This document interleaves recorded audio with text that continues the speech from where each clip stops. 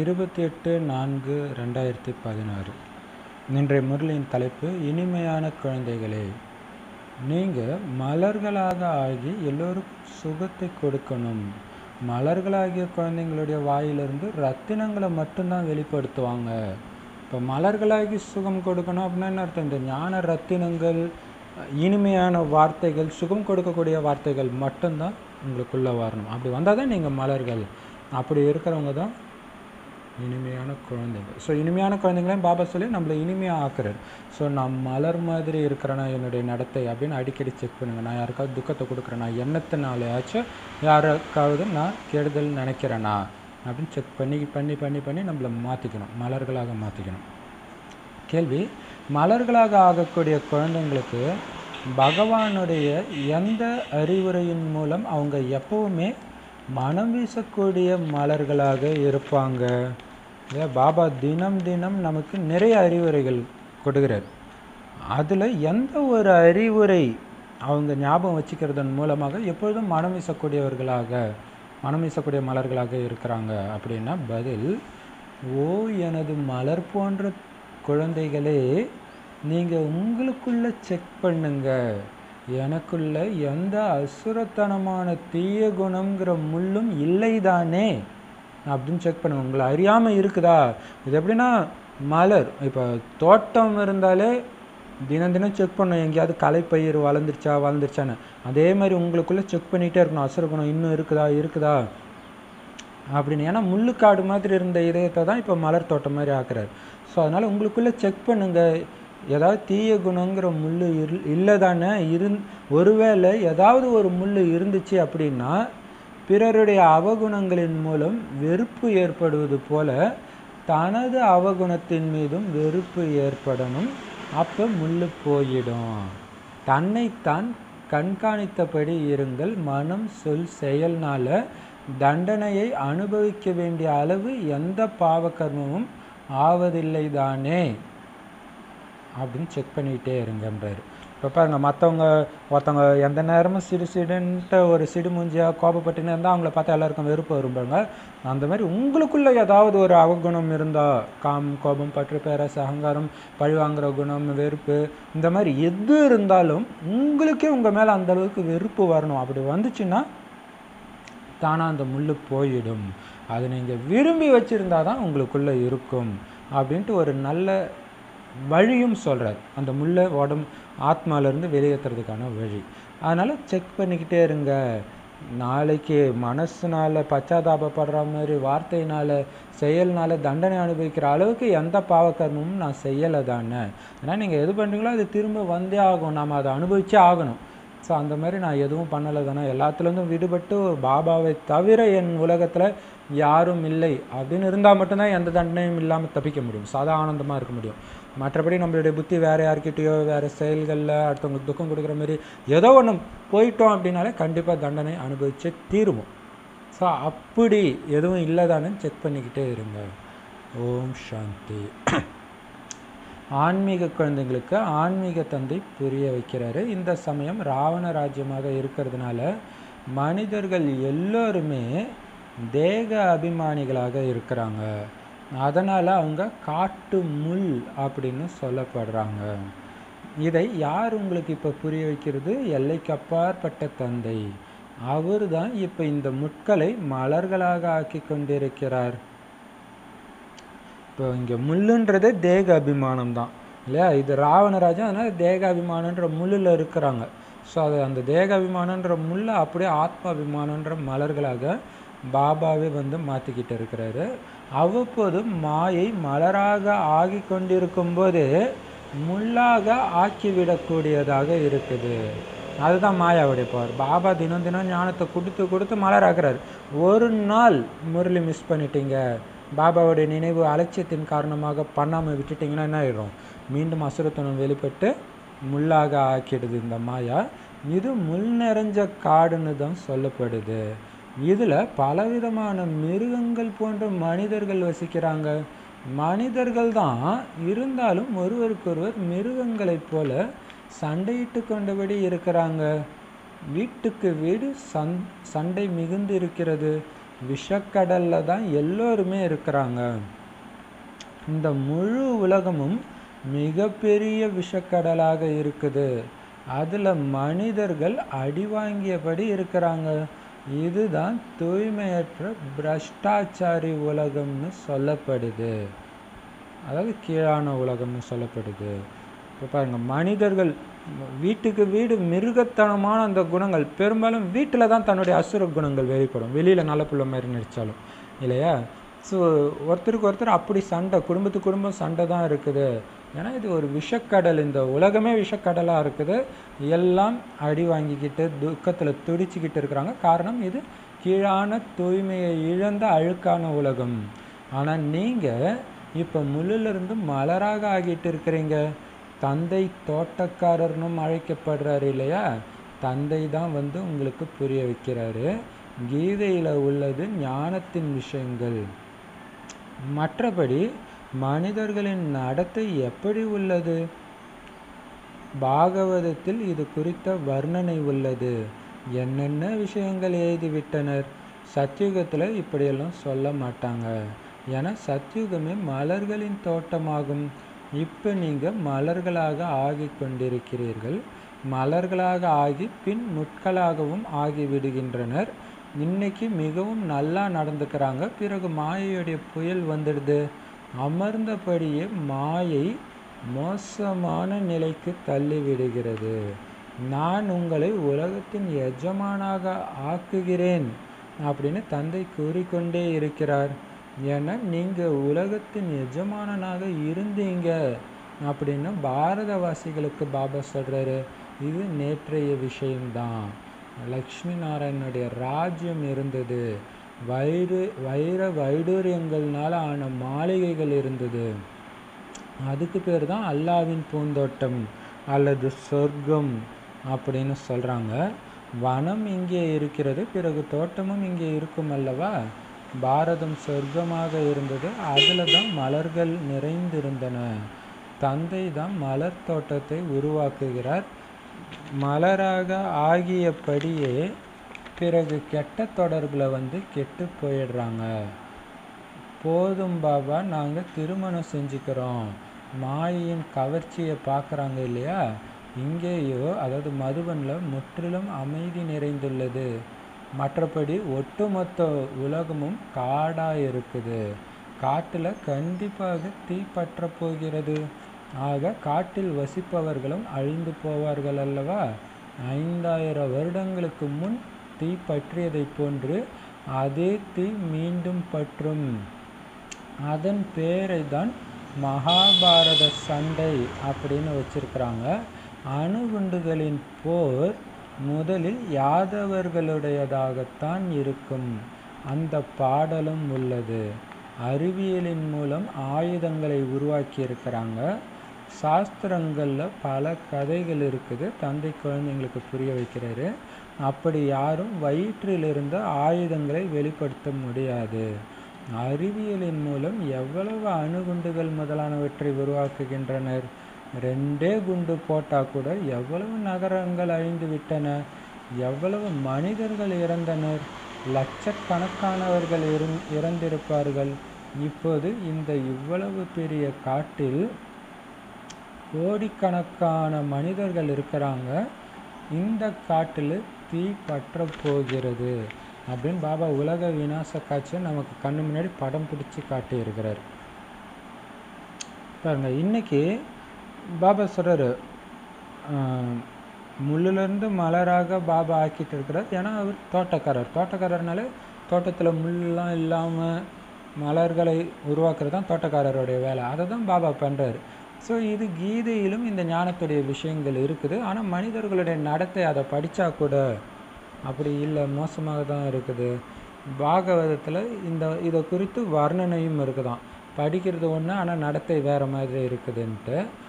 ஆனால் பாருங்கள் என்னென்ன விஷயங்கள்லாம் எழுதிட்டாங்க? ஆனால் சத்தியுகத்தில் இப்படியெல்லாம் நடக்காது. ஏன்னா ஸ்ரீகிருஷ்ணர் வாழ்ந்த காலத்தில் இப்படி நடக்காது. சத்தியுகத்தில் தானே அவர் வாழ்ந்தார். ஆனால் இங்கே ஸ்ரீகிருஷ்ணர் வந்து சண்டை போட்ட மாதிரி அந்த மாதிரிலாம் சொல்லியிருக்கிறாங்களே அந்த மாதிரிலாம் சத்தியுகத்தில் நடக்காது. ஏன்னா அது மலர்களின் தோட்டம். இப்போ அங்கே போகிறதுக்காக தான் நீங்கள் மலர்களாக ஆகிட்டு இருக்கிறீங்க. ஒரு சிலர் மலராகி மீண்டும் முள்ளாயிடுறாங்க. இன்றைக்கி நல்லா பாபா ஞானத்தை கேட்டு தாரணை செஞ்சு அற்புதமான நடத்தையில் இருக்கிறாங்க. ஆனால் ஒரு மாயையின் கவர்ச்சி வந்து ஒரேடியாக அவங்கள விழ வச்சிடுது நல்லா பக்காவாக இருப்பாங்க ஆனால் மாயை தேடி வரும். அப்போ அந்த கவர்ச்சியில் சிக்கினவொடனே மீண்டும் விழுந்துடுறாங்க. முள்ளாகிடுறாங்க. மோசமான நிலைக்கு அவங்கள தள்ளிடுது.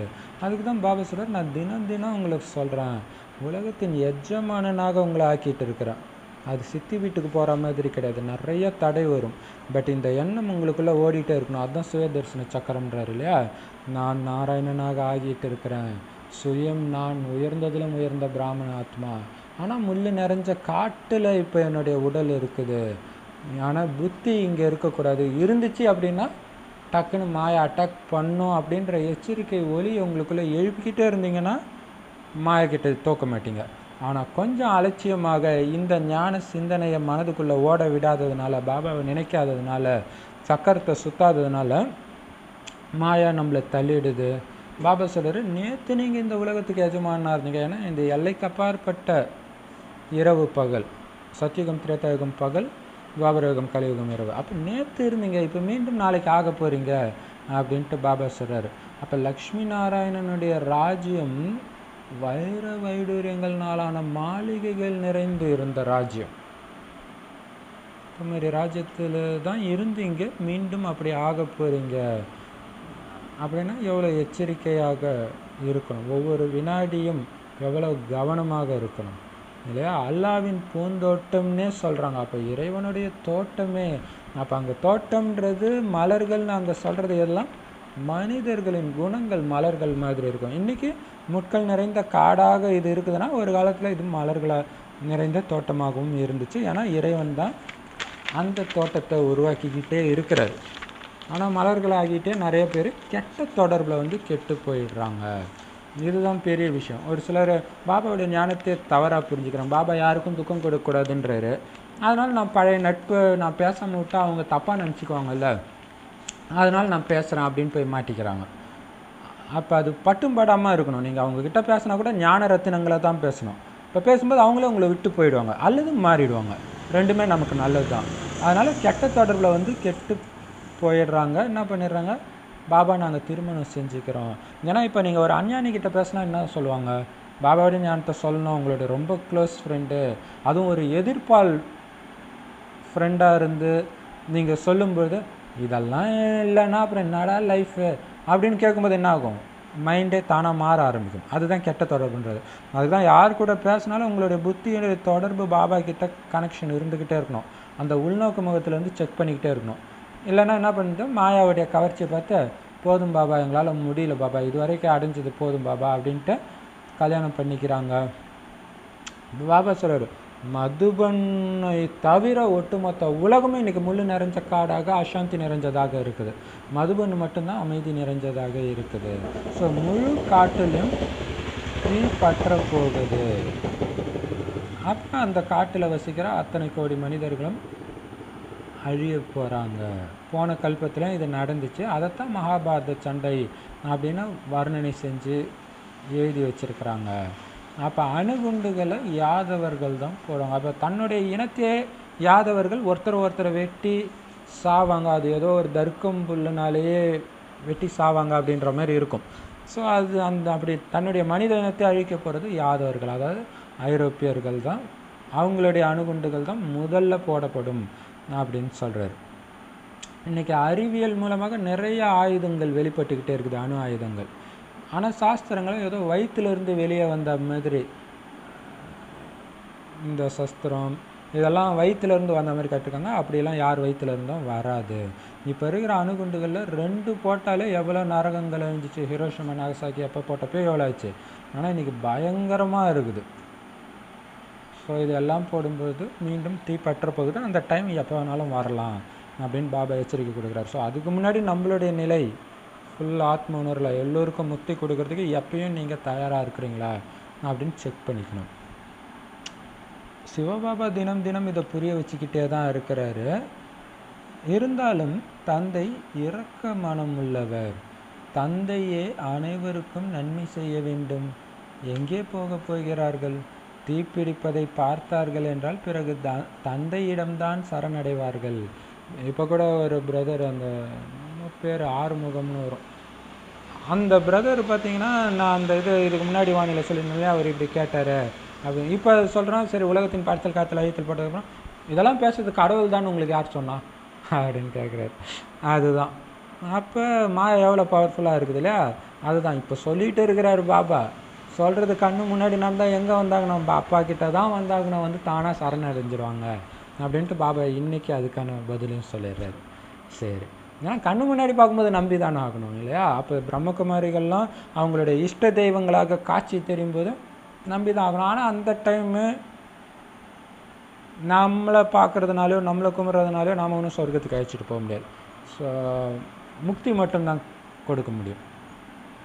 அப்போ பாபா சொல்கிறாரு தந்தை அனைவருக்கும் சத்கதி அதாவது சொர்க்கத்துக்கு போகிறதுக்கான வழியை கொடுக்கிற வள்ளல்.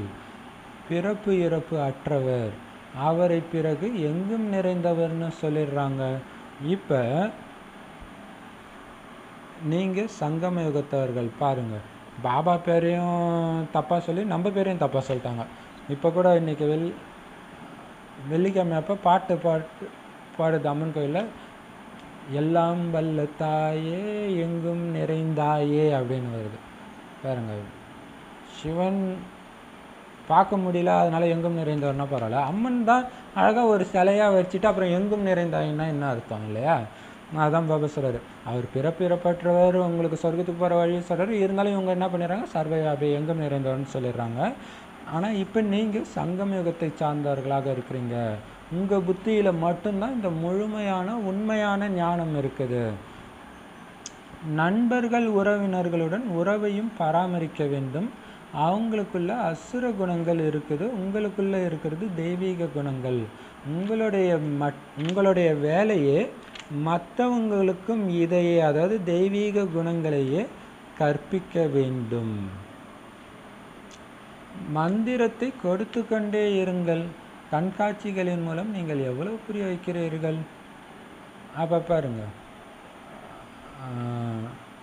பாபா இப்போ நடுவில் சொன்னதுக்கான ஆன்சரும் இப்போ சொல்கிறார் இல்லையா? மற்றவங்க கூட ஃப்ரெண்ட்ஷிப்பு அதெல்லாம் பராமரிங்க. ஆனால் எச்சரிக்கை பட்டும் படாமல் அப்படி இருக்கணும். ஃபுல்லாகவும் கட் ஆகாமல் அதே நேரத்தில் பழைய மாதிரி அப்படியே அங்கே போய் சாக்கடையில் விழாமலும் உங்களை பாதுகாத்துக்க வேண்டியது. ஸோ அவங்க எல்லாம் அசுர குணங்கள் நிறைஞ்சவங்க. அப்போ உங்களுடைய தெய்வீக குணங்களை வெளிப்படுத்தணும். ஏன்னா உங்களோட க்ளோஸ் ஃப்ரெண்ட்ஸுக்கு இதுக்கு முன்னாடி நீங்கள் எப்படி இருந்தீங்கன்னு நல்லாவே தெரியும்.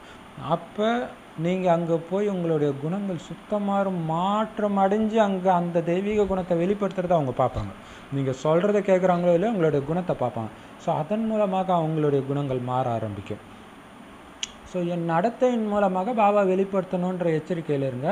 மந்திரத்தை கொடுத்து கொண்டே இருங்கள்னும்போது போன வாரம் பாபா சொன்னது ஞாபகம் வருது. பாபா சொல்கிறார் இல்லையா?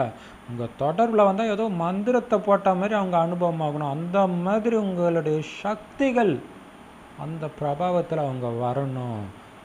எண்ணம் சொல் செயல் மூணுத்தினாலையும் சேவை அட் எ டைமில் பண்ணணும். ஏதோ ஒரு விண்ணுலகத்துக்கு வந்துட்டோமோ அப்படின்னு அனுபவம் பண்ணணும் அப்படின்னு சொல்கிறது அதனால் இந்த மந்திரத்தை அதாவது மண்மனாபவ மனதால் என் ஒருவனை நினைங்கள்னு பாபா சொல்கிறாருன்ற இந்த மந்திரத்தை கொடுத்துக்கிட்டே இருங்க. கண்காட்சிகள் மூலம் நீங்கள் நிறைய புரிய வைக்கிறீங்க. பாரதவாசிகளுடைய எண்பத்தி நாலு பிறவிகள் முழுமை அடைஞ்சிடுச்சு.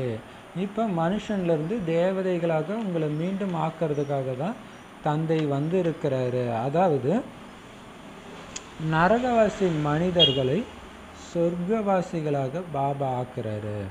தேவதைகள் சொர்க்கத்தில் தான் இருப்பாங்க. இப்போது தனக்கு அசுர குணங்களின் மீது வெறுப்பு ஏற்படுகிறது. தனக்குள் பார்க்க வேண்டும். நாம் தெய்வீக குணங்கள் நிறைந்தவராக ஆகி இருக்கிறோமா நமக்குள்ள எந்த தீய குணங்களும் இல்லைதானே? மனம் சொல் செயல்னால அசுரத்தனமான வேலை ஆகிவிடும்படி நான் எந்த கர்மமும் செய்யவில்லைதானே? நாம் முட்களை மலர்களாக்கக்கூடிய சேவை செய்கிறோமா இல்லையா? அப்படின்னா அடிக்கடி உங்களை செக் பண்ணிக்க சொல்கிறார் ஸோ இந்த கேள்விகளை ஞாபகம் வச்சுக்கோங்க. இந்த கேள்விகளை எழுதி பேக்கெட்டில் வச்சுக்கோங்க. அடிக்கடி எடுத்து பாருங்கள் இதை நான் பண்ணுறேன்னா நான் தெய்வீக குணங்கள் நிறைஞ்சு இருக்கிறேன்னா கடந்த ஒரு மணி நேரம் எனக்குள்ளே வந்து தெய்வீக குணம் மட்டும்தான் வெளிப்பட்டுச்சா? அல்லது ஒரு மணி நேரத்தில் கேப்பில் அசுர குணம் வந்துடுச்சா? செக் பண்ணுங்கள் எந்த தீய குணங்களும் எனக்குள்ளே இல்லை தானே மனதாலேயோ சொல்னாலேயோ செயல்னாலேயோ பாவகர்மம் செய்யலை தானே மலர்களை முட்களை மலர்களாக்கக்கூடிய சேவை செய்கிறனா அதாவது பாபாவுடைய அறிமுகத்தை எண்ணம் சொல் செயல்னால் வெளிப்படுத்துகிறனா அப்படி. ஏன்னா நடத்தையின் மூலமாகவும் வெளிப்படுத்தணும். அப்போ தான் பாபா பிரத்யட்சமாவார் வெறும் வார்த்தையினால் சொன்னால் மட்டும் நடந்துடாது. ஸோ அதையும் நீங்கள் செக் பண்ணணும். அப்போ நீங்கள் எல்லோரும் முன்னாடியும் அறிமுகம் கொடுத்து திடீர்னு யாரோ ஒருத்தங்க கேட்குற கேள்வி பிடிக்காம திட்டிட்டிங்கன்னா என்ன ஆகிடும் அவ்வளோதான் பாபா பேர் கெட்டு போயிடும். ஏன்னா நீங்கள் செய்கிறத தான் பார்ப்பாங்க. ஆக்ஷன் ஸ்பீக்ஸ் லவுடர் தேன் வேர்ட்ஸ்னுவாங்க இல்லையா? சரி. அப்போ இந்த நாலு கேள்விகள் கேட்டுக்கிட்டே இருங்க. உங்களுக்கு அப்படி அசுர குணங்கள் இருந்துருந்துச்சுன்னா வெறுப்பு ஏற்படணுன்றார் ஏன்னா பாபா ரெண்டு நாளில் முன்னாடி வானியில் வந்து அந்த தர்மராஜ் முன்னாடி கிடைக்கிற தண்டனை சொன்னார்ல இப்போ தான் அதுக்கு விளக்கம் வந்து ஒரு சிஸ்டர்கிட்ட கேட்டேன். எனக்கு முழுக்க முழுக்க ஞானம் கொடுத்ததுக்கு காரணமான சிஸ்டர் அவங்க தான் அவங்க என்ன சொன்னாங்க அப்படின்னா கடைசியில் வந்து சூக்ஷ்ம வதனத்தில் காட்சிகள் உங்களுக்கு கிடைக்குமா? என்னென்னலாம் நாம் பாவம் பண்ணியிருக்கிறோம்? பாபா குழந்தை ஆனப்புறம். அதாவது உண்மை இதுதான் சத்தியம் இதுதான் சுகத்தை கொடுக்கக்கூடியது இதுதான் நன்மை செய்யக்கூடியதுன்னு தெரிஞ்சும் பாவம் செஞ்சுருக்குறோம்பாங்க காமம் கோபம் பற்று பேரச அகங்காரத்தில். எண்ணத்தில் கூட பண்ணியிருந்தா கூட அது அப்படியே காட்சியாக நமக்கு மட்டும் தெரியாதான். நம்மளை சுற்றி அத்தனை பேருக்கும் தெரியுமா? அப்போ எப்படி எல்லாரும் முன்னாடி அசிங்கப்படுத்துகிற மாதிரி? ஏன்னா அது வந்து அது பேரே நியாய தீர்ப்பு நாள்னு மற்ற மதத்தில் சொல்கிறாங்க இல்லையா? ஸோ அந்த டைம் பார்த்தீங்கன்னா தீர்ப்பு வந்து கோர்ட்டில் இருக்கிற எல்லாருக்கும் எல்லாரும் முன்னாடியும் தானே நடக்குது. அதே மாதிரி தான் இங்கே நடக்குமா? அப்போ துடிப்புமா பச்சாதாபப்பட்டு அசிங்கப்படுமா? ஏன்னா நம்மள நிறைய பேர் உதாரணமாக நினச்சிருப்பாங்க. இவங்க போய் இந்த சிஸ்டர் போய் இந்த பிரதர் போய் இப்படி பண்ணியிருக்கிறாரா அப்படின்னு மற்றவங்க பார்க்குறாங்கன்னும் போது நமக்கு எவ்வளோ அசிங்கமாக இருக்கும். ஸோ அதுதான் இந்த தர்மராஜ் பார்ட்டு அதை பிரம்மா பாபா மூலமாக சிவன் செய்ய வைப்பாராம். சிவன் டைரெக்டாக பண்ண மாட்டாராம். அதுதான் அந்த வாணியுடைய அர்த்தம். ரெண்டு நாள் முன்னாடி வாணி. சரி. அப்போ பாபா சொல்கிறார் ஸோ அதை கூட நீங்கள் மைண்டில் வச்சுக்கலாம். நாளைக்கு தர்மராஜர் முன்னாடி போய் நான் அசிங்கப்படுற மாதிரி எந்த காரியமும் செய்யலை தானே? அப்படின்னு கேட்டுக்கணும். பாபா மலர் தோட்டக்காரர் பிரம்மா குமார் குமாரிகளாகிய நீங்கள் அந்த தோட்டத்தின் வேலைக்காரர்கள். இல்லையா? பாருங்க க இங்கே வேலைக்காரர்ன்றது ரொம்ப பெருமைக்குரிய விஷயம். ஏன்னா கவர்மெண்ட்டில் வேலை செய்கிறவங்கெல்லாம் கவர்மெண்ட்டோடைய வேலைக்காரங்க தான். கவர்மெண்ட் சர்வெண்ட்டுன்னு தான் சொல்கிறாங்க ஆனால் அது மறந்து வேறு மாதிரி நடத்த இருக்குது. அப்போ இங்கே ஈஸ்வரிய கவர்மெண்ட் நாம இல்லை இறைவனுடைய கவ இறைவனுடைய அரசாங்கத்தின் ஊழியர்கள் வேலைக்காரர்கள் நாம. ஏன்னா இறைவன் தோட்டக்காரர்னா அந்த தோட்டத்தின் வேலைக்காரர்கள் நாம. வேலைக்காரர்களும் விதவிதமானவர்களாக இருக்கிறாங்க. சிலரோ ஒன்றும் அறியாதவர்களாக இருக்கிறாங்க. யாரையுமே தனக்கு சமமாக அவங்களால ஆக்க முடியறதே இல்லை. மலர் கண்காட்சியில் தோட்டக்காரர் போக மாட்டார். தோட்ட வேலைக்காரர்கள் தான் போவாங்க.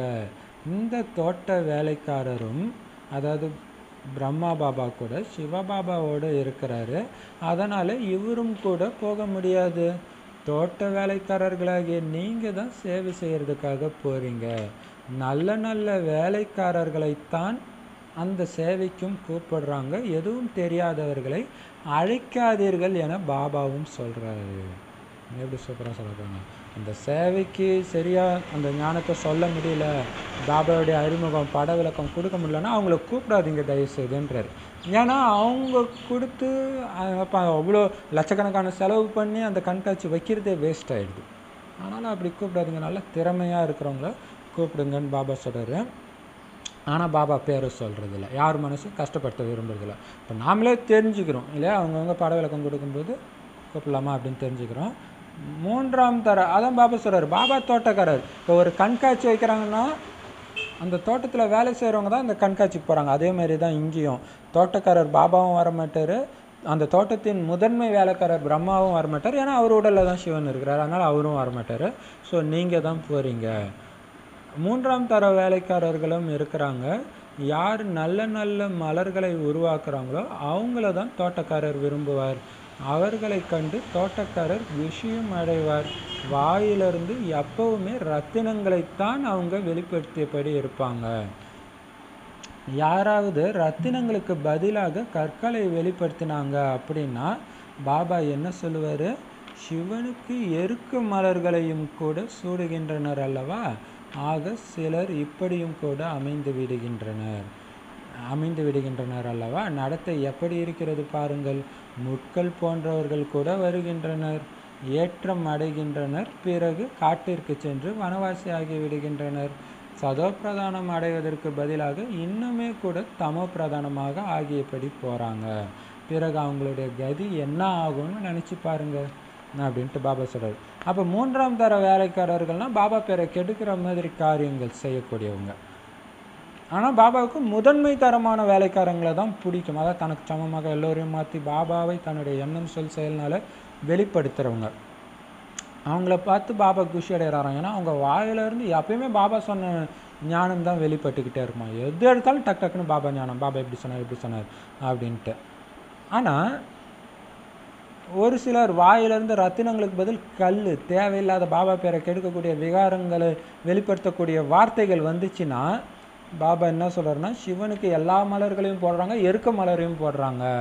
ஸோ அப்படின்னா என்ன அர்த்தம்? அந்த மலர்களை அர்ப்பணம் பண்ணுறாங்கன்னா மலர்களாக பாபா நம்மளை ஆக்கி நம்ம அவருக்கு அர்ப்பணமாகிறோம் எருக்கும் மலர்களும் அந்த மாதிரி அர்ப்பணமாயிடுறாங்கன்றது. அப்போ மூன்றாம் தர வேலைக்காரர்கள் தங்களுடைய நடத்தையினால் பாபா பேரை கெடுக்கக்கூடியவங்க. ஏதோ ஒரு விகாரத்தின் மூலமாக பாபா பேரை கெடுக்கக்கூடியவங்களும் இருக்கிறாங்க. அவங்க மலர்களாக ஆகிறதுக்காக வர்றாங்க ஏறுறாங்க கெட்ட தொடர்பில் வந்து மீண்டும் காட்டுக்கே போயிடுறாங்க. அதாவது முள் மாதிரி ஆயிடுறாங்க. சதோபிரதனம் ஆகிறதுக்காக இந்த ஞானத்தை கேட்டால் இவங்க இந்த ஞானத்தை கேட்டுக்கிட்டு இன்னும் கீழான நிலைக்கு போயிடுறாங்க. அப்போ அவங்களுடைய கதி என்ன ஆகும்னு யோசிச்சு பாருங்கள் என்ன பதவி அடைவாங்க? இங்கேயுமே அவங்க எப்படி இருப்பாங்க? அப்படின்ட்டு பாபா சொல்கிறார் தந்தை சொல்கிறாரு ஒன்று நான் சுயநலமற்று இருக்கிறேன் மற்றொன்று பரோபகாரியாக இருக்கிறேன். என்னை நிந்தனை செய்யக்கூடிய பாரதவாசிகளுக்கு பர உபகாரம் செய்கிறேன். நான் இந்த சமயத்தில் தான் வந்து சொர்க்கத்தை ஸ்தாபனை செய்கிறேன். சொர்க்கத்திற்கு வாருங்கள் என அழைத்தால் நாங்கள் இங்கே சொர்க்கத்தில் தானே இருக்கிறோம் அப்படின்னு சொல்கிறாங்க அட சொர்க்கம் இருக்கிறது சத்யுகத்தில் பிறகு கலியுகத்தில் சொர்க்கம் எங்கேருந்து வந்தது? கலியுகம் நரகம்னு தான் சொல்லப்படுது. பழைய தமோ பிரதான உலகமாக இப்போ இருக்குது. சொர்க்கம் எங்கே இருக்கும்னே மனிதர்களுக்கு தெரியவே தெரியாது. சொர்க்கம் ஏதோ ஆகாயத்தில் இருக்கிறதாக புரிஞ்சுக்கிறாங்க. தில்வாடா கோயிலில் கூட சொர்க்கத்தை மேலே காட்டியிருக்கிறாங்க. கீழே தபஸ் செய்து கொண்டிருக்கின்றனர். அதனால் மனிதர்களும் இன்னார் சொர்க்கத்திற்கு சென்று விட்டார்னு சொல்லிடுறாங்க. சொர்க்கம் எங்கே இருக்குது? சொர்க்கவாசி ஆனார்னு அனைவரை குறித்தும் இறக்கும்போது சொல்லிடுறாங்க. இது விஷக்கடலாகத்தான் உள்ளது. பார்க்கடல்னு விஷ்ணுபுரிக்கு தான் சொல்லப்படுது. அவங்க பிறகு பூஜைக்காக ஒரு பெரிய குளத்தை உருவாக்கிட்டாங்க. அதில் விஷ்ணுவை உட்கார வச்சுட்டாங்க. இப்போ குழந்தைகளாகி நீங்கள் சொர்க்கத்துக்கு போகிறதுக்கான ஏற்பாடு செஞ்சிட்டு இருக்கிறீங்க அங்கே பால் ஓடும் நதிகள் தான் இருக்கும். இப்போ குழந்தைகளாகி நீங்கள் மலர்களாக ஆகியபடி இருங்கள். இவர் முள்ளாக இருக்கிறார் அப்படின்னு யாராவது சொல்கிற அளவுக்கு எந்த விதமான நடத்தையும் உங்களுக்கு ஒருபோதும் இருக்கக்கூடாது. எப்போதும் மலராக ஆவதற்கான முயற்சி செஞ்சுக்கிட்டே இருங்க. மாயை முள்ளாக ஆக்கி விடுகிறது. அதனால் உங்களை மிகவும் எச்சரிக்கையோடு மாயா கிட்டேருந்து பாதுகாத்து கொள்ள வேண்டும். சூப்பராக சொல்கிறார் இல்லையா? சரி பாபா சொல்கிறாரு பாபா வந்து சுயநலமற்ற சேவதர் உலகத்தில் சுயநலமற்றவர் பாபா மட்டும்தான். அதான் அன்பே சிவன்றோம். ஏன்னா எல்லாரும் செய்கிற காரியத்துக்கு பலன் உண்டு. ஆனால் பாபா செய்கிற காரியத்துக்கு பலன் கிடையாது. ஏன்னா அவர் பிறவி மறுபிறவி எடுக்கிறது கிடையாது. அதனால் அவர் அனுபவிக்கிறது கிடையாது. இன்னொன்று பரோபகாரியாக இருக்கிறாரு. அவங்க நிந்தனை செஞ்சவங்களுக்கும் நன்மையே செய்கிறது தான் பரோபகாரி. இல்லையா? அபகாரம் செய்கிறவங்களுக்கும் உபகாரம் செய்கிறதுன்னு இல்லையா? அப்போ இந்த பாரதவாசிகள் தான் இறைவனை ரொம்ப நிந்தனை பண்ணிட்டாங்களாம். ஏன்னா பாரதவாசிகள் தான் இறைவன் கல்லில் முள்ளில் எனக்குள்ள ஆட்டுக்குள்ளே பன்னிக்குள்ளெல்லாம் இருக்கிற மாதிரி சொல்லிட்டாங்க. ஸோ அந்த மாதிரி நிந்தனை செய்கிறவங்களுக்கு கூட பாபா உபகாரம் தான் செய்கிறாரு வந்து இந்த பாரதத்தில் தான் சொர்க்கத்தை உருவாக்குறாரு. சொர்க்கத்துக்கு வாங்கன்னு கூப்பிட்டா எல்லாரும் என்ன சொல்கிறாங்களாம் நாங்கள் இப்போ இருக்கிறதே சொர்க்கத்தில் தாங்க இருக்கிறோம். ஏசி இருக்குது பங்களா இருக்குது அப்படின்னு சொல்லிடுறாங்க. பாபா சொல்கிற சொர்க்கம் சத்தியுகத்தில் தானே இருக்கும். கலியுகத்தில் எப்படி வரும்? கலியுகத்தை நரகம்னு தான் சொல்லப்படுது. தர்ம பிரதான உலகமாக பழைய உலகமாகத்தான் இப்போ இருக்குதுன்ற விஷயம் யாருக்கும் தெரியல. ஏன்னா சொர்க்கம் எங்கே இருக்கும்னு மனிதர்களுக்கு தெரியவே தெரியல. சொர்க்கம் ஏதோ மேலே ஆகாயத்தில் இருக்கிற மாதிரி நினச்சிக்கிறாங்க. அதனால தான் தில்வாடா கோயிலும் சொர்க்கத்தை மேலே இருக்கிற மாதிரி காட்டிட்டாங்க. கீழே தபஸ் செய்கிற மாதிரி அதாவது தியானம் பண்ணுற மாதிரி காட்டியிருக்கிறாங்க. இப்போ பாருங்கள் இறந்தாங்கன்னா சொர்க்கத்துக்கு போயிட்டாங்கன்னு யார் இறந்தாலும் சொல்லிடுறாங்க. ஆனால் இப்போ எங்கே சொர்க்கமாக இருக்குது அப்போ பிறந்தால் இங்கே தான் பிறக்கிறாங்கன்னு தெரியுது. அப்புறம் சொர்க்கம் போயிட்டாங்கன்றாங்க. அப்போ சொர்க்கம் எங்கே இருக்குதுன்னு இவங்களுக்கு தெரியல. இதே பூமி தான் சொர்க்கமாகுதுன்னு தெரியாமல் ஏதோ வானத்தில் இருக்குது போல இருக்குது அப்படின்னு நினச்சிடுறாங்க. அப்படி இருந்தால் தான் இங்கே இருக்கும்போது அவங்க அங்கே போக முடியும். ஆனால் இதே பூமி தான் சொர்க்கமாக இருக்கிறதுனால இந்த பூமி சொர்க்கம் ஆனால் தான் அவங்க சொர்க்கத்துக்கு போக முடியுன்ற விஷயம் அவங்களுக்கு தெரியல. அந்த ஏன்னா இப்போ இந்த ஒட்டுமொத்த உலகமும் நரகமாக விஷக்கடலாக இருக்குது. சொ- சொர்க்கம் விஷ்ணு வாழற அந்த சொர்க்கம் தான் விஷ்ணுபுரின்னு சொல்லப்படுது. அவங்க என்ன பண்ணிட்டாங்க? விஷ்ணுவுக்கு பூஜை பண்ணுறதுக்காக ஒரு பெருமாள் கோயில் நேபாளில்னு நினைக்கிறேன். அங்கே என்ன பண்ணிட்டாங்க? ஒரு பெரிய குளத்தை வெட்டி அதில் பாலை ஊற்றி அதுக்கு நடுவில் விஷ்ணு உட்கார வச்சுட்டாங்க. ஆனால் உண்மையிலே சொர்க்கத்துக்கு போகிறதுக்கான முயற்சியை ஏற்பாடை நீங்கள் தான் பண்ணிட்டு இருக்கிறீங்க. அங்கே தான் பால் நதிகள் ஓடும். அந்தளவுக்கு செழிப்பாக இருக்கும் அப்படின்னு சொல்கிறாரு நீங்கள் இப்போ மலர்கள் ஆகியபடியே இருங்க. மற்ற எந்த கவலையும் உங்களுக்கு வேண்டாம். உங்களை பார்த்து யாராவது யாராவது ஒருத்தர் கூட இவர் முல்லா இருக்கிறாரு. அவரை பற்றி உங்களுக்கு என்ன தெரியும்? நீங்கள் பல பேர்கிட்ட சர்டிஃபிகேட் வாங்கினாலும் யாரும் ஒருத்தருக்கு உங்களை பிடிக்கலன்னா கூட நமக்கு அது பாவம்தான்.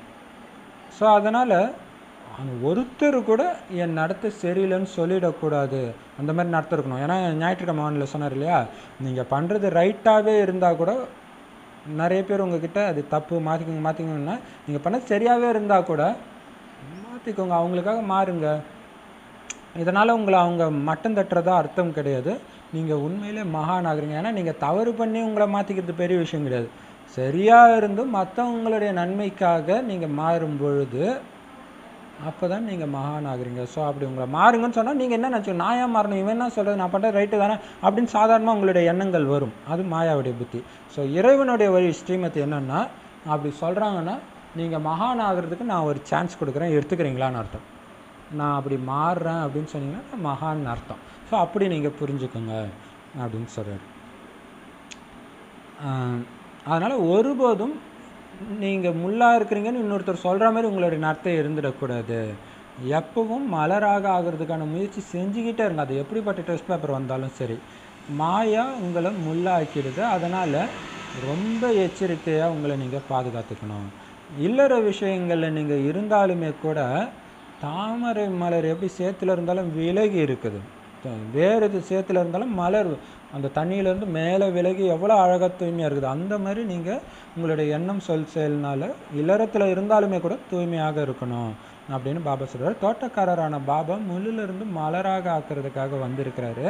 அதனால் நீங்கள் ஒவ்வொரு வினாடியும் நான் மலராக ஆகியிருக்கிறேன்னா அப்படின்னு செக் பண்ணிகிட்டே இருக்கணும். ஏன்னா மலர்களைத்தான் சேவைக்காக அங்கேயும் இங்கேயும் கூப்பிட்டபடி இருப்பாங்க. இல்லையா? எல்லாருக்கிட்டையும் நல்ல பேரை வாங்குறவங்கள தான் இங்கே வந்து சேவை செய்யுங்க அங்கே வந்து சேவை செய்யுங்கன்னு கூப்பிடுவாங்க. சும்மா சிடு மூஞ்சியாக இருந்தால் யாருமே கூப்பிட மாட்டாங்க. இல்லையா? பாபா அப்போ நம்மளை கூப்பிட்றாங்கன்னா நம்ம புரிஞ்சுக்கலாம். நம்ம மலராக இருக்கிறோம். அதை விட்டு ஏன் நம்மளே கூப்பிட்றாங்க? அப்படி புரிஞ்சுக்கூடாது பாபா சொல்கிறார் பாபா ரோஜா மலரை அனுப்புங்கள்னு சொல்கிறாங்க என்னென்ன மாதிரியான மலர் உள்ளதுன்னு கவனிக்கப்படுது இல்லையா?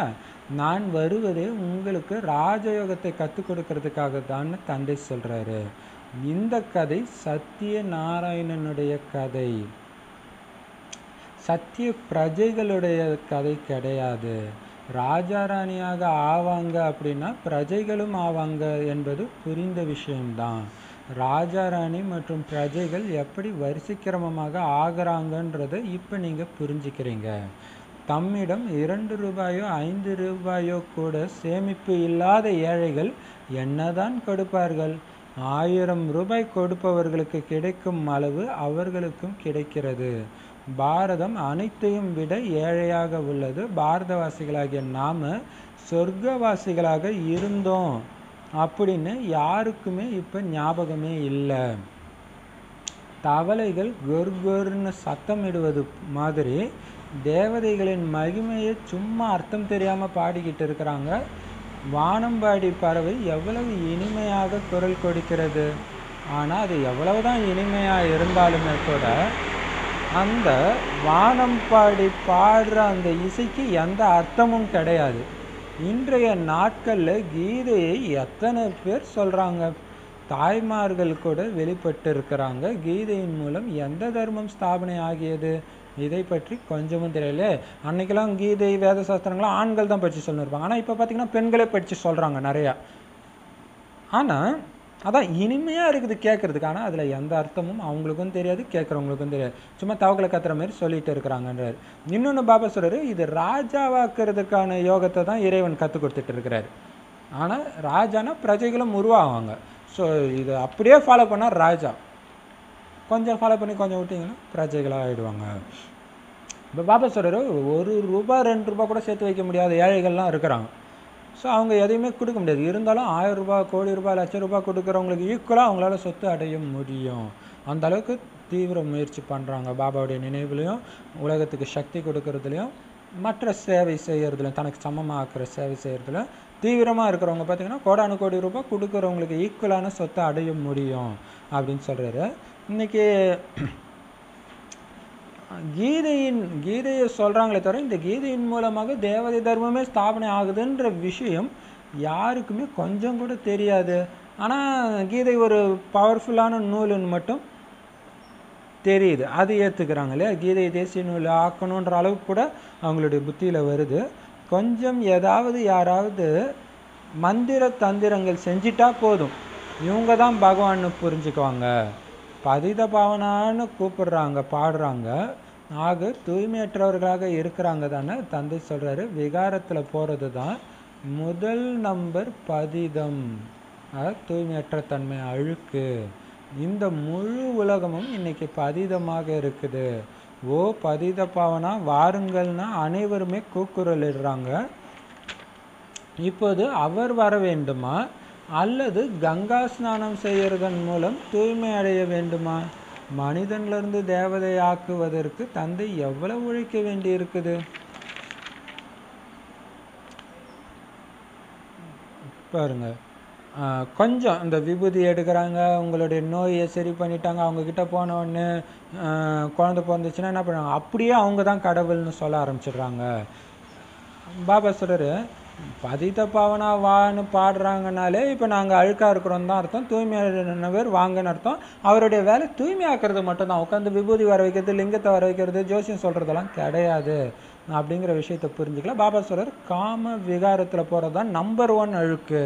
அதனால தான் விகாரத்திலேருந்து விலகி தூய்மையாகவே இருங்க. எந்த காரணத்தை கொண்டு நீங்கள் தூய்மை இழந்துடக்கூடாது. அப்படின்ட்டு பாபா எச்சரிக்கை கொடுத்துட்டே இருக்கிறாரு. முழு உலகமுமே இன்னைக்கு அழுக்காக தான் இருக்குது அதனால தான் பதிட்ட பாவனா வான்னு கூப்பிட்றாங்க. இப்போ பாபா சொல்கிறாரு ஸோ அப்போ தூய்மையாக்கக்கூடிய இறைவன் வரணுமா? அது கங்கையில் குளித்தாலே நீங்கள் தூய்மை ஆகிடுவீங்களா அப்படின்னு கேட்குறாரு இப்போ மனிதன்லேருந்து தேவதைகளாக ஆக்குறதுக்காக இறைவனே எவ்வளோ உழைக்க வேண்டி இருக்குதோ மனிதர்களும் அதுக்கு உழைப்பு இருக்குது இல்லையா? தூய்மை ஆகிறதுக்கு விகாரத்துலேருந்து தன்னை பாதுகாத்துக்கிறதுக்கு ரொம்ப உழைப்பு இருக்குது. ஏன்னா கெட்ட தொடர்பு டக்கு டக்கு டக்குன்னு வந்துக்கிட்டே இருக்கும். விகாரங்கள். ஸோ அந்தளவுக்கு எச்சரிக்கையாக சதா பாபா நினைவு பாபாவுடைய ஞானம் பாபா கிட்ட பேசுகிறது சக்தியை கொடுக்கறது. இதில் பிஸியாக இருந்துக்கிட்டே இருக்கணும். இல்லைன்னா மாட்டிக்குவீங்க. இப்போ பாபா சொல்கிறார் என்னை நினைவு செய்தீர்கள் என்றால் நீங்கள் முள்ளிலிருந்து மலராக ஆகிவிடுவீர்கள். அப்படின்னு தந்தை சொல்கிறாரு வாயிலிருந்து ஒருபோதும் கற்களை வெளிப்படுத்தாதீங்க மலராக ஆகுங்கள். இதுவும் கூட படிப்பு தானே. போக போக கிரகச்சாரம் பிடித்து கொண்டது என்றால் தோல்வி அடைஞ்சிடுறாங்க. நம்பகமானவரிலிருந்து நம்பகமற்றவராகி விடுகின்றனர். நினைவில் இருந்துக்கிட்டே இருக்க இருக்க தான் தூய்மை ஆகிட்டே இருப்போம். நம்மளுடைய வார்த்தை நடத்தை பார்வை எல்லாமே பக்காவாக இருக்கும். ஆனால் அவருடைய நினைவு மறக்கும்போது என்ன ஆகிடும் அசுர குணங்கள் வந்துடும். அதனால் பாபா சார் கல் மாதிரி வார்த்தைகளை வெளிப்படுத்தாதீங்க. மலராகுங்க. இன்னைக்கு வாணியோடைய சாரம்சமே இதுதான் இல்லையா? கல்லாகாதீங்க மலராகுங்க. முள்ளாகாதீங்க மலராகுங்க. எச்சரிக்கையாக இருங்க மாயா கிட்டன்றார். இது படிப்பு. ஆனால் போக போக என்ன பண்ணிடுது? கிரகச்சாரம் பிடிச்சிக்குது. மாயாவுடைய கிரகச்சாரம் பிடிச்சிக்குதுன்னா தோத்துடுறாங்க. நம்பகமானவர். பாபாவுக்கு நம்பிக்கை வருதா? இந்த குழந்தை நல்ல தீவிரமாக போகுது. பக்கா நாராயணன் ஆகும் லக்ஷ்மி ஆகும்னு நினைக்கிறாரு. ஆனால் அதுக்கு மாயா கிட்ட மாட்டினோன்னு என்ன பண்ணுறாங்க நம்பிக்கையற்றவரா? பாபாவே நம்பிக்கையை இழக்கிற மாதிரி ஆகிடுறாங்க. பிறகு நாம் பாபா கிட்ட போகலாம் அப்படின்னு சொல்கிறாங்க இந்திர சபையில் அழுக்கானவர் வர முடியாது. இது இந்திர சபை அல்லவா? அழைத்து வரக்கூடிய பிராமணியர்கள் அதாவது பிராமணியரின் நிமித்தமானவர்கள் மீதும் மிகப்பெரிய பொறுப்பு இருக்குது. விகாரத்தில் போயிட்டாங்க அப்படின்னா பிராமணியின் மீதும் சுமை ஏறிவிடும். அதனால் கவனத்துடன் மற்றவங்களை அழைச்சிட்டு வரணும். முன்னே செல்ல செல்ல நீங்கள் பார்க்க போகிறீங்க சாது சந்நியாசிகள் முதலான அனைவரும் வந்து வரிசையில் நின்றுடுவாங்க பீஷ்ம பிதாமகர் முதலானவர்களின் பெயர்கள் உள்ளன அல்லவா? குழந்தைகளுக்கு விசால புத்தி இருக்கணும். பாரதம் மலர் தோட்டமாக இருந்ததுன்னு நீங்கள் யாருக்கு வேணும்னாலும் சொல்ல முடியும். தேவி தேவதைகள் வசித்து கொண்டிருந்தனர். இப்போது முட்களாகி விட்டனர். உங்களுக்குள்ள ஐந்து விகாரங்கள் உள்ளன அல்லவா? ராவணராஜ்யம் என்றாலே காடு. தந்தை வந்து முட்களை மலர்களாக ஆக்குறாரு. அதனால் நீங்கள் சிந்திச்சு பார்க்கணும். இப்போ நாம் ரோஜா மலர் மாதிரி ஃபஸ்ட் கிளாஸான மலராக ஆகலை அப்படின்னா பல பிறவிகளுக்கும் எருக்க மலராகவே ஆகிடுவோம் பிறவி பிறவிக்கும் அப்படின்னு அந்த ஒரு எச்சரிக்கை இருந்துக்கிட்டே இருக்கணும். அதனால் இது கடைசி இந்த ஒரு ஜென்மம் தானே தூய்மையாக இருக்க போகிறோம் அப்படின்ட்டு ஒரு வினாடி விடாமல் தூய்மையாகவே இருக்கணும். இல்லைன்னா பிறவி பிறவிக்கு அசுத்தமாகிடுவோம் ஆகிடுவோம் அப்படின்னு என்ன அர்த்தம்? நரகத்தில் தான் பிறப்போம். சொர்க்கம் தான் தூய்மை நிறைஞ்ச உலகம். அங்கே பிறவியே இல்லாமல் போயிடும். கல்ப கல்பத்துக்கும் இதே அதிர்ஷ்டம் தான் இருக்கும் அப்படின்றதெல்லாம் நீங்கள் செக் பண்ணிக்கிட்டே இருக்கணும். பாபா சொல்கிறார் நிறைய பேர் இந்த காமத்தில் விழுந்துட்டு சரி மறுபடியும் பாபா பார்க்க போகலான்றாங்க ஆனால் அப்படியெல்லாம் அழுக்கானவங்க இங்கே வர முடியாதுன்ற மதுபனில். ஏன்னா அது இந்திர சபை இல்லையா? இந்திர சபை இந்திரர்கள் கூடுற அந்த சபை மதுபன். ஸோ அங்கே போய் நேரடியாக இறைவனை நம்ம பார்க்குறோன்னா எல்லோரையும் அழிச்சிட்டு வரக்கூடாது. அப்படி அழைச்சிட்டு வந்துட்டாங்கன்னா அழிச்சிட்டு வர்றவங்களுக்கு அந்த சுமை பாவச்சுமை வந்துடும். அதனால் எச்சரிக்கையாக இருக்கணும் அப்படின்ட்டு பாபா சொல்கிறார் போக போக சாது சன்னியாசிகள்லாம் வரிசையில் நிற்க வருவாங்க பாபாவை பார்க்கறதுக்காகன்னு நீங்கள் பார்ப்பீங்க ஏன்னா பீஷ்ம பிதாமகர் போன்றவர்களை கூட சிகண்டிகை மாதிரி பெண்கள் வந்து பலியாக்குறாங்கன்னு மகாபாரதத்தில் வருது. அப்போ என்ன அர்த்தம்னா இங்கே பெண் குழந்தைங்க கன்னியாக்கள் கொடுக்குற ஞானத்தில் பெரிய பெரிய வேத சாஸ்திரங்கள் படித்தவங்க எல்லாம் அப்படியே தலை குனிஞ்சு போயிட்டாங்க ஆஹா இவங்களுக்கு இவ்வளோ தெரியுதே நான் கர்வத்துலேருந்து வாழ்க்கையை வீணாக்கிட்டேனே அப்படின்ட்டு. அப்போ அவங்களுக்கு நீங்கள் புரிய வைக்கிறதுக்கு விசாலமான புத்தி இருக்கணும். யாருக்கு வேணாலும் நீங்கள் புரிய வைங்க. இந்த பாரதம் சொர்க்கமாக மலத்தோட்டமாக இருந்துச்சு. அதனால தான் தங்க மாட மாளிகைகள் இருந்ததை கொள்ளடிக்கிறதுக்கு தான் வெளியிலேருந்து இங்கேருந்து வந்து போயிருக்கிறாங்க. இன்னைய வரைக்கும் பாரதவாசி பெண்கள் தான் நகைகளை உடம்புல போட்டுட்டு இருக்கிறாங்க. அப்போ சொர்க்கமாக இருந்தது அப்படின்னு புரிய வைங்க. இப்போ அந்த தேவதைகளை மறுபிறவி எடுத்து எடுத்து ஐந்து விகாரங்களில் மாட்டி முள்ளாயிட்டாங்க. ஏன்னா அது ராவண ராஜ்யத்தில் மாட்டிக்கிட்டாங்க. ராவண ராஜ்யம்னாலே காடு தான் பாபா இந்த விகார முட்களை நீக்கி மீண்டும் மலர்களாக தூய்மையான மலர்களாக ஆக்குறாரே. அப்போ இந்த ஒரு பிறவிக்கு நான் மலர் ஆயிட்டேன்னா எப்பவுமே அந்த இது இருக்குமே. சொர்க்கத்தில் சுகம் நிறைந்த வாழ்க்கை அனுபவிப்போம். கல்ப கல்பமாக அது தொடருமேன்னு சிந்திச்சு பார்க்கணும். இந்த ஒரு தடவை ஃபெயில் ஆகிட்டா கல்ப கல்பத்துக்கும் தோத்துடும். ஜென்ம ஜென்மத்துக்கும் கீழான பதவி தானே கிடைக்கும் அப்படின்ட்டு எச்சரிக்கையாக இருக்கணும். அதனால் அனைவரும் தனக்கு முதல்ல நன்மை செஞ்சுக்கணும். சிவபாபாவுக்கு நீங்கள் எந்த நன்மையும் செய்ய போகிறதில்ல நீங்கள் பண்ணுற எல்லாமே பாபாவுடைய அறிமுகத்தை கொடுத்து உங்களுக்கு சமமாக்குறது கூட உங்களுக்கு தான் நன்மை. ஏன்னா உங்களுடைய பதவி தான் அடைய போகுது. அதனால் உங்களுக்கு நீங்கள் சகாயம் நன்மை செஞ்சுக்கணும். இப்போ நீங்கள் ஸ்ரீமத் படி நடக்கணும். ஸ்ரீமத் படி நடக்கிறதுல தான் உங்களுடைய நன்மை இருக்குது. மனசு சொல்கிற வழியோ மற்றவங்க சொல்கிற வழிப்படியோ நடக்கிறதன் மூலமாக உங்களுக்கு கெடுதல் தான் இருக்குது. தோட்டத்துக்கு யார் போனாலும் மனம் வீசும் மலர்களைத்தான் பார்ப்பார்கள். எருக்க மலர்களை பார்க்க மாட்டார்கள். மலர் கண்காட்சி நடக்கிறது அல்லவா? இதுவும் கூட மலர் கண்காட்சி ஆகும். மிகப்பெரிய பரிசு உங்களுக்கு கிடைக்குது. மிகவும் முதல் தரமான மலராக ஆகணும். மிகவும் இனிமையான நடத்தை இருக்கணும். கோபம் மிக்கவர்களிடம் மிகவும் பணிவுடன் நடந்துக்கணும். கோபம் கோபமாக இருக்கிறாங்கன்னு நம்ம புரிஞ்சுக்கணும். பொறுமை சக்தி அந்த ஆத்மாவுக்கு இல்லை. நாம தான் கொடுக்கணும். அதை விட்டு அவங்களுக்கு தான் கோவப்பட தெரியுமா? எனக்கு தெரியாதான்ட்டு கோபம் சரிக்கு சமமாக கோவப்பட்டுன்னு இருக்கக்கூடாது. அவங்கக்கிட்ட தான் ரொம்ப பணிவாக நடந்துக்கணுன்றார். எவ்வளோ பெரிய விஷயம் இல்லையா? அது சூப்பரானது. அப்போ ஒரு தோட்டம் போனால் அழகான மலர்கள் மேலே தான் கண்ணு போகும். எல்லா மலரும் உள்ள ஒரு கண்காட்சிக்கு போனால் கூட ரொம்ப அழகாக இருக்கிற மலர்களில் தான் எல்லாரும் கவர்ந்து இழுக்கும். அந்த மாதிரி பாபா மலர் தோட்டத்தை உருவாக்குறார் பிராமணர்கள் பிரம்மகுமாரிகள். அதில் ரொம்ப பக்காவாக இருக்கிறவங்க அந்த குணத்தின் மூலமாக அப்படி ஒரு நறுமணத்தை தெய்வீக குணங்களோட நறுமணத்தை வெளிப்படுத்துகிறவங்க மேலே தான் எல்லோர் பார்வையும் சிவபாபாவுடைய பார்வையும் போகும். அதனால் பாபா சொல்றார் ரொம்ப ரொம்ப இனிமையான நடத்தை உங்களுக்கு இருக்கணும். பாபாவை நான் வெளிப்படுத்துகிறேன்னா கோபம் மிக்கவர்கள்ட்ட ரொம்ப பணிவாக நடந்து போகணும். அவங்கக்கிட்டே சர்டிஃபிகேட் வாங்கணுன்றார். நாங்கள் ஸ்ரீமத் படி நடந்து தூய்மை அடைஞ்சு தூய்மையான உலகமாகிய சொர்க்கத்தின் எஜமானனாக விரும்புகிறோம் அப்படின்னு சொல்கிறீங்க அதுக்கு பல யுக்திகள் இருக்குது இல்லையா? தாய்மார்களிடம் பெண்களுக்கேயான ஆழமான தந்திர குணங்கள் உள்ளன. சாதுரியத்துடன் தூய்மையாக இருப்பதற்கான முயற்சி செய்யணும்.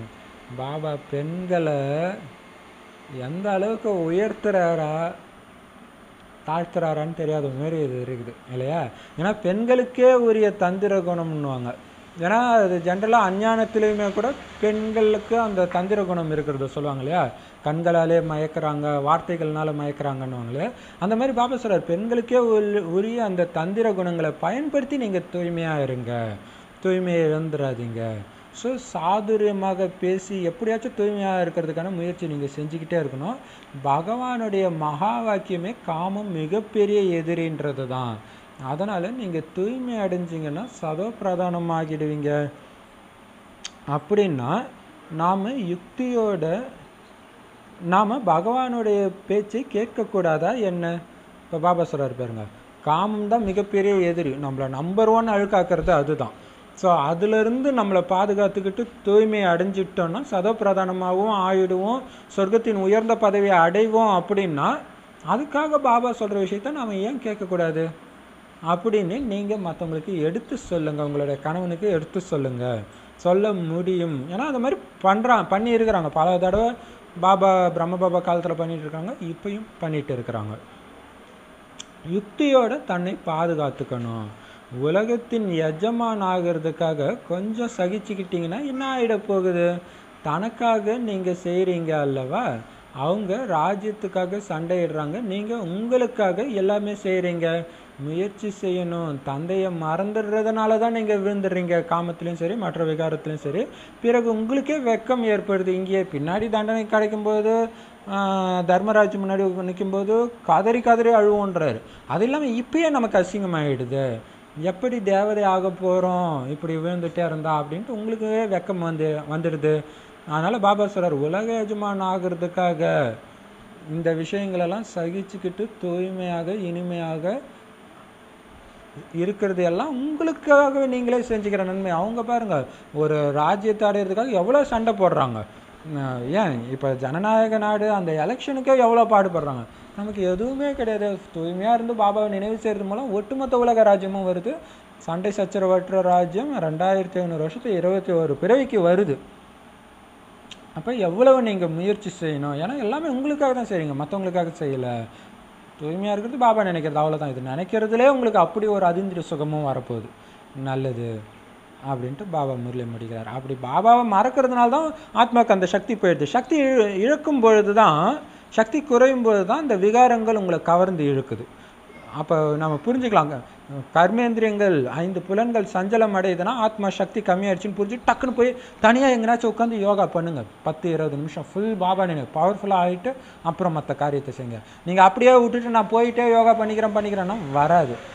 அப்படின்னு சொல்கிறாரு நல்லதுன்னு பாபா வாங்கி அமைச்சிட்டாரு மேலும் இனிமையான காணாமல் போய் வெகு காலம் கழித்து கண்டெடுக்கப்பட்ட செல்லமான குழந்தைகளுக்கு தாயும் தந்தையுமாகிய பாப்தாதாவின் அன்பு நினைவுகள் மற்றும் காலை வணக்கம்.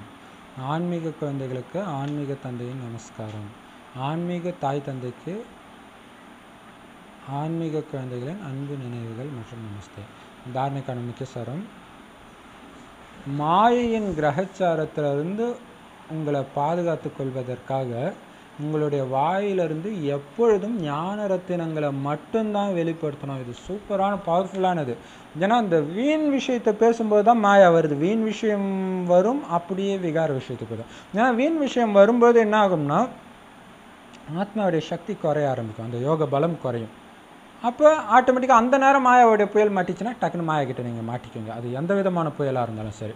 அதுக்கு தான் பாபா சொல்கிறார் வாயிலேருந்து எப்பயும் ஞான ரத்தினங்கள் வெளிப்பட்டுக்கிட்டே இருக்கணும். உங்களுடைய எண்ணத்துலேயும் ஞான ரத்தினங்கள் தான் சுற்றிக்கிட்டே இருக்கணும். ஆசை போட்டுக்கிட்டே இருக்கணும். ஞான சிந்தனை பண்ணிக்கிட்டே இருக்கணுன்றாரு கெட்ட தொடர்புலேருந்து உங்களை எப்பயுமே நீங்கள் பாதுகாப்பாக வச்சுக்கணும். ஏன்னா கெட்ட தொடர்பு வந்து ரொம்ப ஜாக்கிரதாக இருக்கணும். உங்களுக்கு எவ்வளோ வேணாலும் க்ளோஸ் ஆனவங்களா இருக்கலாம். அவங்கக்கிட்ட இருந்து நீங்கள் விலகியே இருக்கணும். அப்படின்னு சொல்கிறாரு அடுத்தது அதாவது பராமரிக்கணுன்றாரு பட் ஆனால் பட்டும் படாமல் அப்படி இருக்கணும். மனம் வீசும் மலராக ஆகிறதுக்காக தீய குணங்களை நீக்கிடணும். ஏன்னா மலராக்குறது மலராக ஆகிறதுக்கு தான் நான் வந்திருக்கிறேன். அதுக்கு தான் நான் யார்? நான் யார்? அந்த கேள்வி தர்மம் தர்மம் ஞாபகம் இருக்கணும். நான் யார்? உயர்ந்ததிலும் உயர்ந்த பிராமண தர்மம் நான் யார்? இந்த உலகத்துக்கே நறுமணம் வீசும் மலர். நான் இந்த மாதிரி காரியத்தை பண்ணலாமா அப்படின்ட்டு மைண்டுக்குள்ளே ஓடிக்கிட்டே இருக்கணும். அப்போ மலராகணும்னா தீய குணங்கள் முற்றிலும் நீக்கிடணும். செக் பண்ணிக்கிட்டே இருக்கணும். தீய குணம் எங்கேயாச்சும் ஒழிஞ்சிட்டு இருக்கா அப்படின்ட்டு. ஸ்ரீமத் படி மிக மிக பணிவானவராக தான் இருக்கணும். உங்ககிட்ட எவ்வளோதான் கோபமாக பேசினாலும் சரி. உங்களுடைய மிகப்பெரிய எதிரியான காம விகாரத்திடம் ஒருபோதும் தோல்வி அடைஞ்சிடக்கூடாது. ஏன்னா மெயினே இங்கே தூய்மை தான் பாபா சொல்லியிருக்காருல போக போக ரூல்ஸ் எல்லாம் ஸ்ட்ரிக்ட் ஆகிடும் விகாரத்தில் விழுந்தவங்க இந்திர சபைக்குள்ளேயே நுழையிறதுக்கு அனுமதி இருக்காது. அந்த மாதிரி மிலிட்ரி ரூல் கடுமையான சட்டங்கள் வந்துடும். கூடிய விரைவில் அப்படின்ட்டு பாபா சொல்லியிருக்கிறாரு. வரதானம். நிராகாரத்திலிருந்து சாக்காரம். அதாவது நிராகாரம்னா சரீரமற்ற இல்லையா? அதனால் அசரீரிலிருந்து சரீரம் என்ற மந்திரத்தின் மூலம் சேவையின் நடிப்பை நடிக்கக்கூடிய ஆன்மீக சேவாதாரி ஆகுங்கள். சூப்பரான கர்ம யோகத்துக்கான விதியை சொல்கிறார் பாபா. இதுக்கு விளக்கம் தந்தை நிராகாரத்திலிருந்து சாகாரத்தில் வந்து சேவையின் பாகத்தை நடிக்கிற மாதிரி குழந்தைகளும் கூட இதே மந்திரத்தின் எந்திரத்தை நினைவில் வைத்து சேவையின் பாகத்தை நடிக்க வேண்டும். இந்த சாக்கார சிருஷ்டி சாக்கார சரீரங்களின் மேடையாகும். மேடை ஆதாரமாகும். பாகத்தை நடிப்பவர் ஆதார மூர்த்திகள் எஜமானர்கள் ஆவர் இந்த நினைவின் இந்த நினைவின் மூலம் விலகியவராகி அதாவது தனிப்பட்டவராகி நடிப்பை நடித்தீர்கள் என்றால் புரிந்தவராக இருப்பதுடன் புத்திசாலிகளாக ஆன்மீக சேவாதாரியாக ஆகிவிடுவீர்கள். சூப்பராக சொல்லியிருக்காங்க பாபா வந்து இங்கே வந்து முரளி சொல்கிறாரு காட்சி கொடுக்குறாரு இந்த மாதிரி நிறைய சேவை பண்ணாலும் கூட அவருக்கு ஒவ்வொரு வினாடியும் அதாவது சரீரத்தில் வந்து நம்ம பேசினாலும் கூட அவருக்கு தெரியும். நான் சரீரமற்றவன் நிராகாரி அழிவற்ற ஆத்மா பரமாத்மா இந்த உலகத்தின் ஆதாரம் நான் அப்படின்னு அவருக்கு தெரிஞ்சு அந்த நிலையில் நிலைச்சிருந்து அவருடைய சேவையின் பாகத்தை நடிக்கிறதுனால செய்கிற சேவையுடைய பந்தனத்தில் அவர் மாட்டிக்கிறது கிடையாது. சதா சுதந்திரமாக இருக்கிறார். அதே மாதிரி அவருடைய குழந்தைங்க நாம் நிராகாரருடைய குழந்தைங்க நாமளும் நிராகாரர். ஆத்மாக்களை தான் அவர் குழந்தை குழந்தைன்றார். உடம்பு சொல்லலை. அதுமாதிரி குழந்தைகளாகிய நாமளும் பாபா சொல்லியிருக்கிறார் இல்லையா? நான் பரந்தாம நிவாசி பரந்தாமத்தில் தான் இருக்கிறேன். இங்கே சேவைக்காக அவதாரம் எடுத்திருக்கிறான். அவதார புருஷன் நான் அவதார மூர்த்தி நான். பாபாவுடைய சேவை செய்கிறதுக்காக இந்த உடலை ஆதாரமாக எடுத்திருக்கிறேன் மற்றபடி இந்த உடல் எனது இல்லை. அப்படின்ற நிலையில் நி அந்த நினைவு நிலையில் இருந்து அந்த நினைவில் நிலைச்சு உங்களுடைய சேவையின் பாகத்தை நீங்கள் நடிங்க. ஏன்னா இந்த சாக்கார சரீரத்துடைய மேடை தான் இந்த சாக்கார சிருஷ்டி. அப்போ இது அப்போ நீங்கள் நடிக்கிறதுக்கு ஒரு ஆதாரமாக ஒரு ஸ்டேஜாக இருக்குது இந்த மேடை. அதில் இந்த பாகத்தை உயர்ந்த பாகத்தை நடிக்கிற பிரம்மகுமார் குமாரிகள் தான் இதோடைய ஆதார மூர்த்திகளே எஜமானர்கள். அதனால் நான் கோடானு கோடி பேர் என்னை பார்க்குற ஹீரோ பார்ட் நான் நடிக்கிறேன் அப்படின்ற நினைவின் மூலம் விலகியவராகி நடிப்பு நடிச்சிங்கன்னா அப்போ சுற்றி எல்லாரும் அதாவது ஒரு ஆக்ஷன் கொடுத்தா ஒரு ரியாக்ஷன் டக்குன்னு வருதுவாங்க அந்த மாதிரி பண்ணிடக்கூடாது. ஹீரோனா வித்தியாசமாக இருக்கும் இல்லையா? அந்த நினைவில் பல கோடானு கோடி பேர் ஆயிரம் கோடி ஆத்மாக்கள் பார்க்குற ஆடியன்ஸாக பார்க்குற அந்த ஸ்டேஜில் ஹீரோ பார்த்து நான் நடிக்கிறேன் அப்படின்ற நினைவின் மூலமாக ஒவ்வொரு காரியத்தையும் நீங்கள் செஞ்சீங்க அப்படின்னா இந்த மூன்று கால ஞானத்தை புரிந்தவராகி புத்திசாலிகளாகி ஆன்மீக சேவாதாரியாக நீங்கள் ஆயிடுங்க அப்போ தான் ஆத்மாவுக்குரிய சேவையை இறைவனை வெளிப்படுத்தக்கூடிய துக்கத்திலேருந்து அவங்கள விடுவிக்கக்கூடிய விகாரிகளை நிர்விகாரிகளை ஆக்கக்கூடிய சேவையை உங்களால் செய்ய முடியும். எப்போ? இத்தனை பேர் பார்க்குற கதாநாயகன் கதாநாயகி ரோலை நான் பண்ணிட்டு இருக்கிறேன். ஏன்னா கடைசியில் அந்த தர்மராஜ் முன்னாடி சூக்ஷ்ம வதனத்தில் நமக்கு கொடுக்குற தண்டனை அப்படி தான் இருக்கும். எல்லோரும் ஸ்டேஜில் ஆடியன்ஸ் மாதிரி பார்ப்பாங்க. நீங்கள் பண்ண அனைத்தும் போட்டு காட்டுவார் பாபா. அப்போ அந்த காட்சிகளை பார்க்கும்போது பெருமைப்படுற மாதிரி இருக்கணும் காட்சி. இல்லையா? மற்ற அப்போ பாபா சொல்கிற ஆயிரம் கோடி மக்கள் பார்க்குற அது அப்போ நடக்க போகிறது இப்போவே நான் அப்படி தான் நடிச்சிட்டு இருக்கிறேன்னு நினைக்கிறேன். ஆனால் கடைசியில் அதான் நடக்க போகுது.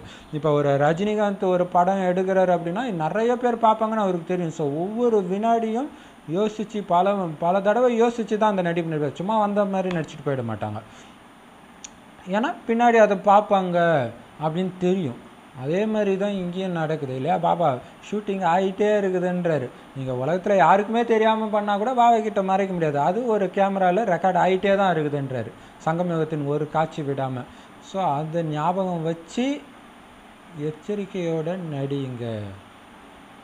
தனிப்பட்டு இருக்கணும். எல்லோரையும் மாதிரி இருக்கக்கூடாது. எல்லாரும் எப்படி வேணாலும் இருக்கட்டும். நான் முன்னேறி காட்டுறேன். இதில் நான் முதல்ல அர்ஜுனன் அப்படின்னு சொன்னார்ல அந்த மாதிரி ஆகுங்க அப்படின்னு சொல்கிறார் அப்போ தான் உண்மையான ஆன்மீக சேவை உங்களால் செய்ய முடியும். அந்த மாதிரி உயர்ந்த பங்களை சொல்லும்போது தான் நீங்கள் ஒரு வார்த்தை சொன்னாலே அவங்களுக்கு தைக்கும் பலி அப்படின்னு பாபா சொல்கிறார் அதான் யோக பலம். ஸ்லோகன் ஸோ எப்பயுமே நான் இந்த உடல்லேருந்து பிரிஞ்ச ஆத்மா தனிப்பட்டு இருக்கிற ஆத்மா நான் விருந்தாலேயே இந்த உடம்புல இருக்கிறேன் அப்படின்ற அந்த நினைவில் சுத்தமாக பற்றற்று இருங்க. இந்த உடல் மேலேயும் பற்று இருக்கக்கூடாது உடல் சார்ந்த யார் மேலேயுமே பற்று இருக்கக்கூடாது அப்படின்னு சொல்கிறார் ஸ்லோகன் சாட்சியாகி அனைத்து விளையாட்டுகளையும் பார்க்குறவங்க தான் சாட்சி நிலையில் இருக்கிற பார்வையாளர்கள் அப்படின்னு சொல்கிறார் இப்போ என்ன நடக்கட்டும் துக்கம் நடக்கட்டும் சுகம் நடக்கட்டும் எல்லாம் நடந்துட்டு இருக்கட்டும். பாபா மடியில் நான் இருக்கிறேன்ற அந்த உணர்வில் உண்மையிலே பாபா மடியிலே அதாவது பாபா நினைவுன்ற மடியிலேயே இருந்து பார்த்தீங்கன்னா குஷியாக தான் இருக்கும். என்ன காட்சி வந்தாலும் சரி உலகத்தில் எப்படிப்பட்ட ஒரு அசம்பாவிதம் நடந்தாலும் சரி. ஸோ அப்படி பார்க்குறவங்களுக்கு பேர் தான் சாட்சி நிலையில் நிலைச்சிருக்கிறவங்க. ஏன்னா பாபா அப்படி தான் இருக்கார். ஸோ பாபாவுக்கு சமமானவங்கனாலே அதுதான். என்ன நடந்தாலும் உங்களுக்கு நன்மை தான் அடங்கி இருக்குது ஸோ அதில் அந்த நாடகத்தில் நிச்சய புத்தி இருக்கணும். ஐயோ என்ன ஆகிடுமோ இப்படி ஆகிடுமோ பய பயந்துட்டா பாபாவுடைய இதய சிம்மாசனத்திலேருந்து இறங்கிட்டீங்கன்னு அர்த்தம். இறங்கிட்டீங்கன்னா அங்கேயும் ராஜ சிம்மாசனமும் உங்களுக்கு கிடைக்காது. அப்போ தான் ரெண்டாயிரத்தி ஐநூறு வருஷம் ஆடாத அசையாத ராஜ்யத்தை உங்களால் கொடுக்க முடியும். இப்போ நீங்களே ஆடிட்டு இருந்தீங்கன்னா அப்போ அந்த ராஜ்யமும் இருக்காது. அப்படின்னு சொல்லி பாபா வாணியை முடிச்சுட்டார். ஓம் சாந்தி செம சூப்பரான வாணி. பல தடவை கேளுங்க. பல பேருக்கு இந்த ஞானத்தை சொல்லிக்கிட்டே இருங்க. அப்போ தான் தாரணை ஆகும் ஞான ரத்தினங்களை வெளிப்படுத்திக்கிட்டே இருங்க. ஓம்